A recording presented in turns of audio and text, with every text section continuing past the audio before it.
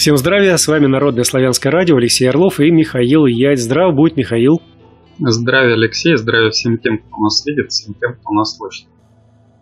Мы очень часто говорим про державность, про державу, и там есть такие персонажи в славянском обществе, а славянское общество – это держава в первую очередь, на мой взгляд, которые называются по-разному и по-разному трактуются, и в произведениях там целая путаница, кто есть кто. Я имею в виду жреца, волхва, ведуна, и там еще есть обрядодей. Вот э, жрецы, волхвы – это то, что часто произносится. Обрядодей реже произносится. А ведун, ну как-то так обобщенно и тоже не так часто. На твой взгляд, кто есть жрец, кто есть волф, кто есть обрядодей, кто есть ведун. Это одно и то же или есть какие-то разницы между ними?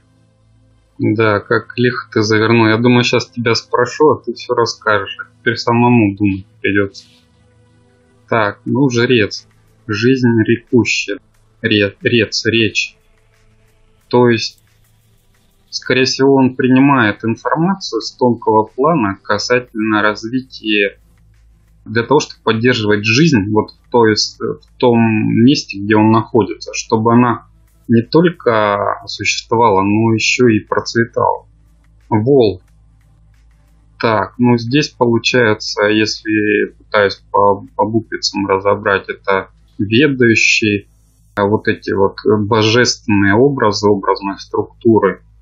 И взаимодействие идет с людьми, и это людское с людским миром. Для чего? Для того, чтобы создавать гармонию, поддерживать гармонию вселенскую в людском обществе. То есть вот тут такая, судя по, по буквице. Дальше, ведун. Тут получается веды. То есть он знает знание вед. Дальше на основании этих знаний он какое-то добро сотворяет. Причем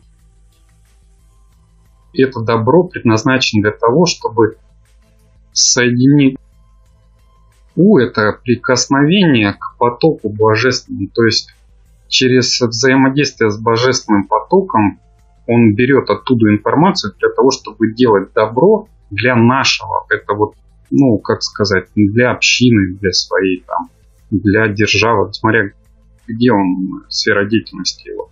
То есть это применение своих знаний, применение знаний веб, глобальных таких знаний, для творения добра, для нашего народа, нашей, нашего общины, нашей державы. Как-то так. Обряда дей. Ну, здесь и мне почему-то не хочется его так вот глобально по буквам разбирать, а вот если в общем так, обряд, действо с обрядом. То есть он делает какое-то действие, связанное с обрядом. Замечательно. Давай с последнего и начнем. На самом деле, обряды дей, то есть действия в обряде. Тот, кто проводит действия в обряде или проводит сам обряд. В первую очередь, конечно же, тот, кто проводит сам обряд. Это и есть обряда действующий, обряда дей. Это не обязательно волф, жрец, ведун это тот, кого назначили от общины проводить обряд. К примеру, не появился жрец, не появился волк, не появился ведун, а надо проводить обряд, какой-то праздник. Какой-то праздник, и надо провести общинное какое-то мероприятие. Причем обряд может быть как священнослужение, так обряд может быть общинный. Потому что всегда славяне находились в потоке божественном.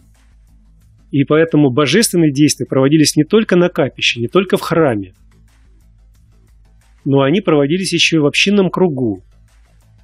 Прежде чем начинать какое-либо дело, даже вот в классике сохранилось «помоляся, приступили» да, к какому-то делу. То есть сначала обращение к кому? К богам, потом обращение к земле, и через это сбор воедино всех сил и благословление на какой-то поступок, на какие-то деяния, на какие-то дела. То же самое было и в древности. только не молились с точки зрения современного понимания, когда все становились на колени, э, или там, потупив глаза, взяв в руки свечки, э, что-то произносили по какой-то священной книге. Да, и книги были, само собой, я сейчас не про это, я про другое, что произносили молву или молву, возносили к богам и предкам, к земле родной, к природе, то есть соединяли воедино все, что есть, и физическое, телесное, и природное, которое за пределами телесного, и божественное, то, что за пределами досягаемого. Все это вместе соединялось. Восхваляли великомудрых предков, просили их поддержать в каком-то деле важном, неважно, ратно это дело, или это орчи вышли, или просто совет какой-то держать, неважно.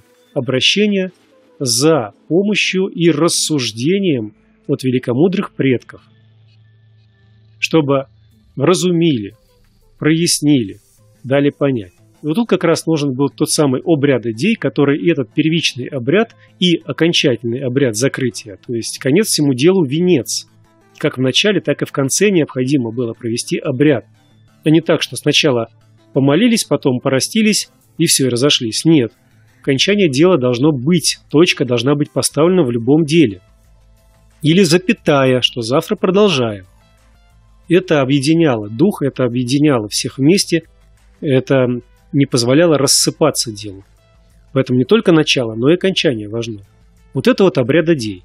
Если же был какой-то жрец, волк, то в этом случае просили их, чтобы они это все провели. И они тогда становились обрядодеями. То есть и жрец, и волк, и ведун могли быть обрядодеями. Но при этом обряд идей не обязательно был жрецом, ведуном или волхвом. Разобрались. Дальше. Волх. Или нет, давай с ведуна. Ведун. Веда, то есть мудрость. Мудрость как земная, человеческая, так и божественно неписанная. В первую очередь, конечно, нас интересует божественная мудрость. Божественная мудрость всегда называлась Веда – Веды – это соединение вместе и божественной мудрости, и земной мудрости, и человеческой общины. Вот это уже веды, когда вместе соединялись все направления, все уровней. И здесь нужен был тот, который эти веды соблюдал, хранил и в случае необходимости передавал. И когда возникали какие-то вопросы, обращались к ведуну, к хранителю мудрости, Хранитель мудрости мог быть и жрецом, мог быть и волхвом, а мог быть отдельно назначенный человек, который перестал, например, волховать, перестал жречествовать или не начинал, а ему только поручили. И он хранит книги, хранит какие-то записи, э, манускрипты, харатии, скрижали и так далее и тому подобное. И который за это отвечает, он их умеет правильно читать, умеет правильно доносить. Не трактовать по-своему, а именно доносить. Вот это ведун, хранитель веды. Хранитель веды, и, как ты правильно сказал, еще и иногда нужно получать веду, мудрость свыше. Теперь идем к волхву. Чувствую, у нас такая передача короткая сегодня будет. Волхв а есть множество трактовок. Я в данном случае упоминаю только одну из этих трактовок. Только одну. То есть не надо тыкать пальцем, а вот тот-то сказал вот так, и тот тоже правильные вещи говорил, уверяю вас. Потому что Волхв – это очень разнообразное такое представление и явление в славянском мире, в мире славяно-русов. Волхв – это человек, который умеет управлять силами природы – с ними взаимодействовать и получать что-либо для общества необходимое, при этом не нарушая веду, то есть божественное, при этом не нарушая веды все, то есть в ладу с природой по кону и заветам богов и предков. Необходимо было, к примеру, Э, засуха. Необходимо было, к примеру, разобраться, почему засуха. Необходимо было, чтобы пролился дождь. Приходили к волхву, говорили, дорогой уважаемый, Вот урожай сохнет, а ведрами из реки уже задолбались таскать. Ты уже сделай что-нибудь. И вот тут он мог уже использовать, к примеру, навыки шаманизма. Шаманство – это одно из низших, очень упрощенных направлений ведуна, очень упрощенных. Или высокий видовской уровень, или сверхвысокий жреческий уровень. Он мог получить информацию, почему это произошло, кто нарушил что, дать пояснение уже как ведун дать пояснение о том, что нужно исправить и как себя надо вести. И уже как Волхв, проявляя взаимодействие с природными стихиями, с божественными уровнями, с уровнями земными и то, что в древности у нас подземными, то есть пекельными э, мирами демоническими, например, вызвать дождь. После этого, когда дождь прожел, нормализация природы происходит, и опять природа восстанавливается в том статусе, как она была – Волх всегда восстанавливает статус на место. То есть он вызвал что-то, дождик прошел, и обратно все вернулось, все стало на свои места.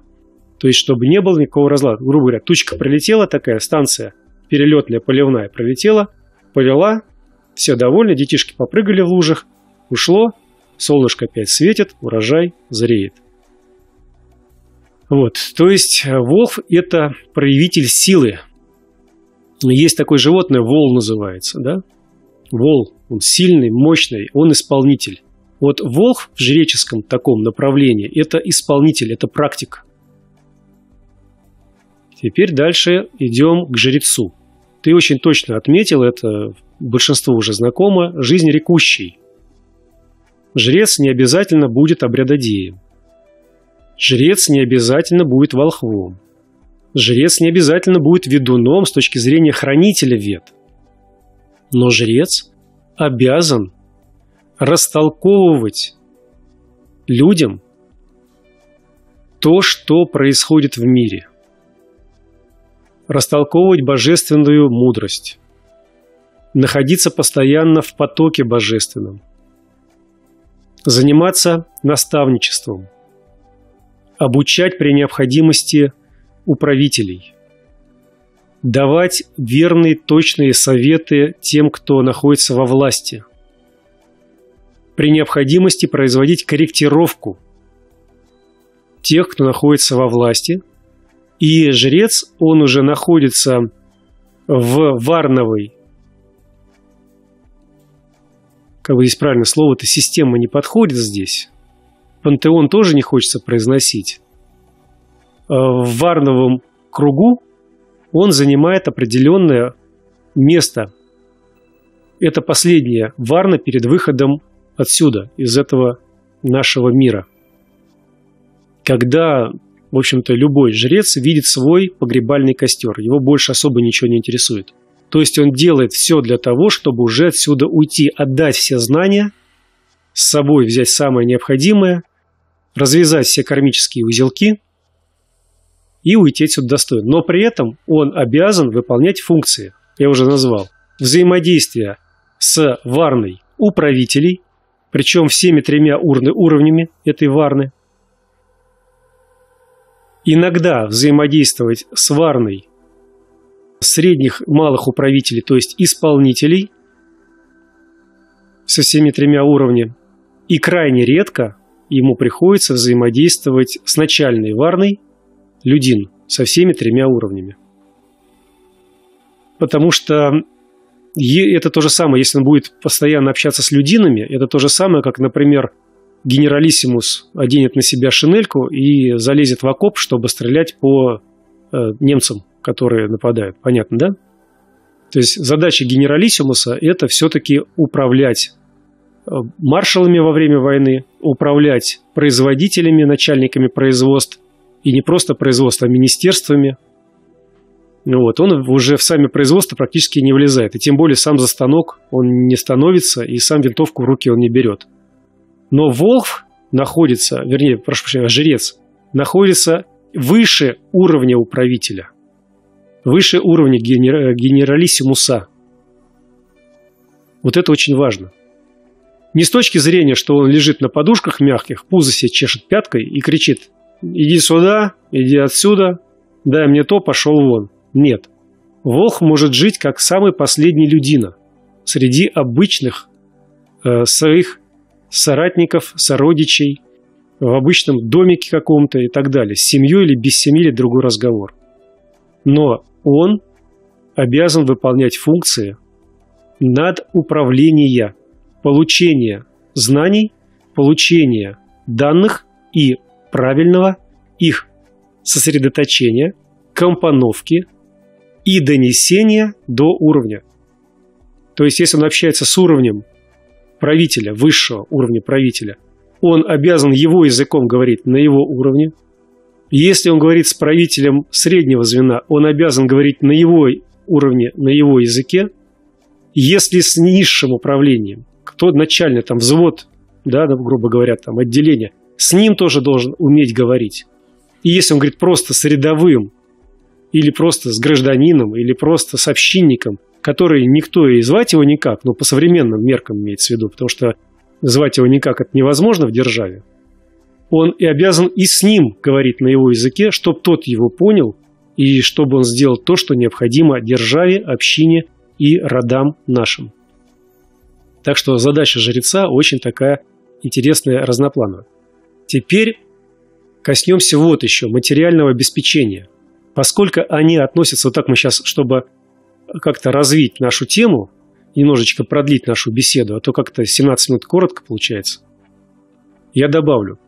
Э, есть такое понятие мироеда. Мы неоднократно про это говорили. И вот как раз перечисленные люди, вернее сказать, должности, относились, как правило, Э, к разряду мироедов. Не к сословию.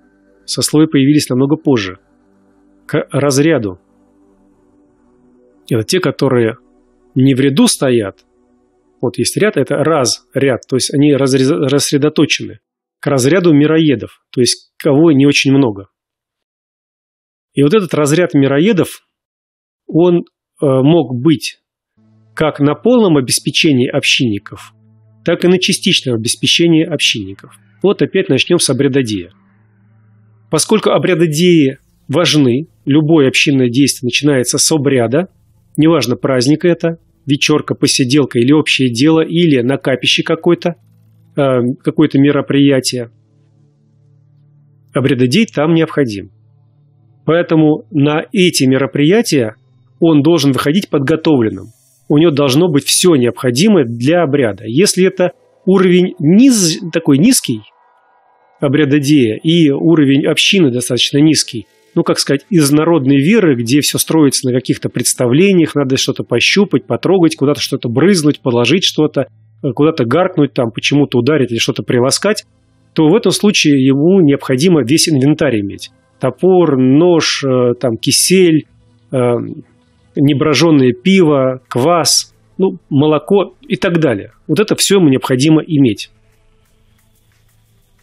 Поэтому его община этим всем обеспечивает. То есть частичное мироедство, частичное обеспечение лежит на общине, он частичный мироед. Все остальное время он трудится вместе с общинниками. То есть он также зарабатывает, вернее так, получает доход для общины своим трудом. То есть приносит добро общине. Но частично он может быть мироедом. Ведун, поскольку он как библиотекарь, как хранитель веды и веда, он занимается тем, что собирает знания, концентрирует их, он уже находится, так сказать, или на полном обеспечении общинам, или на частичном, опять же. Частично это что? Создание библиотеки, хранилища, поиск написания книг, снабжение бумагой или пергаментом или чем-то еще. Это, естественно, за деньги общины делается. Э, и когда он занят общественным трудом, он не может, вернее, когда он занят вот этим трудом как э, ведун, он не может одновременно пахать в поле.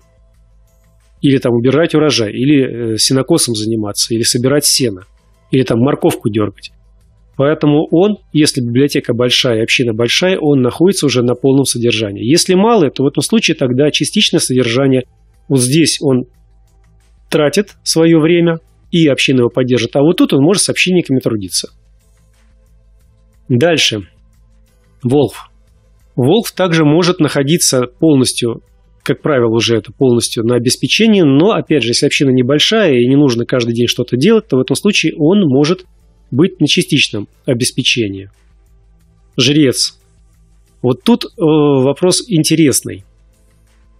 Жрец, поскольку это конечная стадия развития этого варного направления, и он не должен ни коей мере зависеть от бытового и тем более от денег, то есть финансово должен быть полностью независим, то жрец по всем правилам никогда после принятия жреческого уровня служения он никогда не должен работать, никогда не должен трудиться.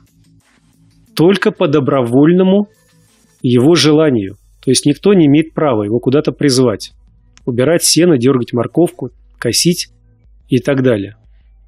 Потому что он сам прекрасно знает, когда нужно сделать, когда не нужно делать. Жрецами никто не управляет. Ни община, ни сход, никто. Ни копы, ни весь жрецами не имеет права управлять. Жрец может получить свой статус жреца, также может быть он на него отозван, но только другими жрецами.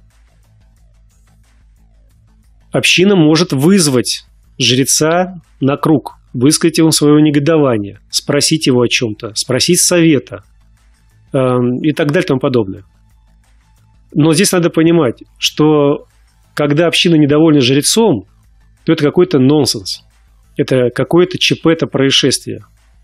Только в современном мире, только в современном мире, по нашему представлению, община может взбухнуть против жреца.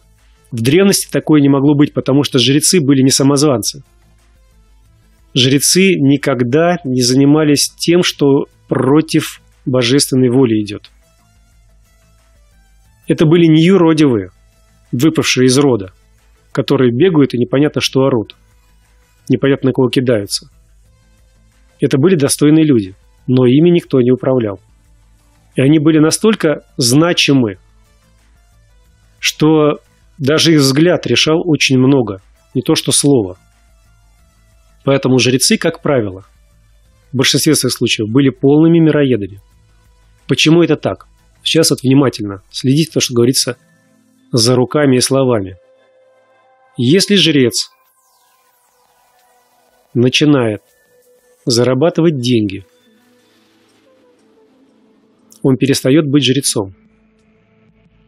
Потому что, зарабатывая деньги, он будет искать то место, где этих денег он сможет заработать в достатке для своей семьи. То есть он будет искать выгоду, не божественную, а выгоду телесную. И в этом случае он начнет продавать свой труд, свои знания и умения. Продажа своего труда, знаний и умений невозможно для этого уровня, иначе он превращается в проститутку – торгующего чем-то из своего тела. Неважно, знания, мысли, тело, дела и так далее. Вопрос. Насколько проститутка может высшему сословию управленцев дать верные данные, направить их на путь истинный? Насколько проститутка сможет обществу быть полезна? Понимаете? Исходя из этого, жрецы никогда за деньги ничего не делали. Никогда денег и вознаграждений от людей они не получали. Только община по общему решению или по просьбе жреца могла выделить ему что-либо необходимое для жизни. Жрец, как правило, жил очень скромно. Принцип жизни жреца такой, как живет самый бедный человек в общине, так живу и я. Быт жреца был на уровне самого бедного человека в общине. Никогда жрец не допускал жить в золотых хоромах, когда был хоть один страждущий в его общине, в его копе, в его весе. Вот это настоящий жрец.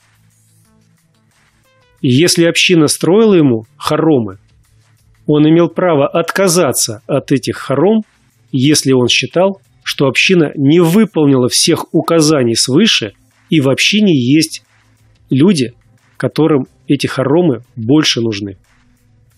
У которых, например, плохой дом, плохое хозяйство, кто-то хворый, за ним нет присмотра.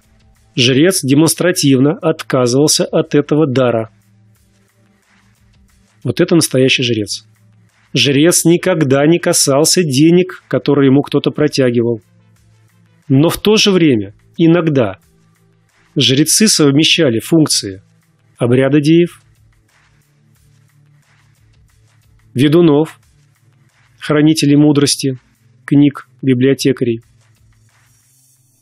жрецов и волхвов.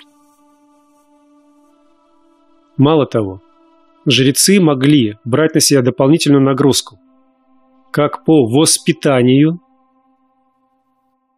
ратному в боевому делу, если они вышли из касты воинов. Они могли брать на себя наставнические функции. То есть жрец никогда без дела не сидел. Он все время занимался чем-то. Помимо этого, в некоторых случаях, если вообще община была зажиточная, богатая, хорошая, где много было добра. В терем жреца перемещалась казна, и он становился еще казначеем или кошевым. Потому что более доверенного человека, чем жрец, в общине не было. Даже староста общины был менее доверенным, чем жрец. Даже старости общине порой доверяли меньше, чем жрецу. Поэтому во многих случаях жрецу приходилось, с одной стороны, не беря ни копейки денег себе, быть ответственным хранителем казны общины или общего коша. Вот столько функций на жреца могло быть возложено. Это не те жрецы, которые сейчас в современности у нас и представление о них возникает, которые нам навязали. Это жрецы настоящие – Поэтому если человек не берет себе лично денег, исполняет общественные функции, разъясняя, говоря о чем-то, донося понятным языком, то перед вами какой-то уровень жреца. Если человек поговорил, поговорил, потом протягивает шляпу, положить мне свои деньги за то, что поговорил, это не уровень жреца. Даже если он говорил все очень складно. Это разряд жреческой проститутки – и наша задача сейчас, обществу, общество всего, понять это. И если на самом деле жрец, то в этом случае сделать так, чтобы он ни в чем не нуждался. Потому что правильный жрец всегда будет делать державные дела. Его не надо подпихивать, подгонять, заставлять что-то делать. Он всегда будет исполнять те функции и задачи, которые необходимы для становления державы, для ее укрепления и благоденствия и процветания всех родов, живущих в этой державе. Вот, если есть какие-то вопросы, можешь задать. Я еще раз убедился, что в нашем языке все-таки нет слов синонимов. И у каждого слова есть свой, именно свой глубинный смысл. И я еще что вижу, что теперь вот люди могут конкретно послушать, например, вот эту передачу и сравнить с тем, с людьми, которые называют себя вот каким-то из этих слов себя, являются ли они такими на самом деле или нет. Но больше всего мне бы хотелось, чтобы эту передачу посмотрели именно те люди, которые пытаются себя так называть, не соответствуя этим словам. Потому что помимо того, что каждое слово налагает какие-то на себя, так сказать, хорошие права, но у каждого слова есть и обязанность. Если ты назвался грузлем, то, как ты уже упоминал, будь добр, полезай в завод. Если вопросов нет, давай тогда будем заканчивать. Благодарю богам нашим светлым, предкам нашим славным, тебе, Алексей, за эту беседу, за этот разбор этих слов. Благодарю тебя, Михаил, благодарю тебе, Михаил, за то, что ты эту тему поднял и поддержал ее. Надеюсь, что эта тема для кого-то будет очень важная. Она в очередной раз поможет разобраться в наших древних способах выживания, способах проживания и жизни вообще. Как жили наши предки, какой был уклад жизни, как все было продумано и что такое есть держава. И кто в этой державе что должен делать для того, чтобы эта держава процветала ради наших с вами родов, ради каждого человека, живущего на земле чтобы не свиньями становились люди, не паразитами, а человеками, человечи и азами. На я с вами прощаюсь. Напомню, что с вами Народно-славянское радио, Алексей Орлов, Михаил Ять. До новых встреч, друзья мои. Пишите, общайтесь, распространяйте информацию, если она важная. Увидимся с вами и услышимся быть добром.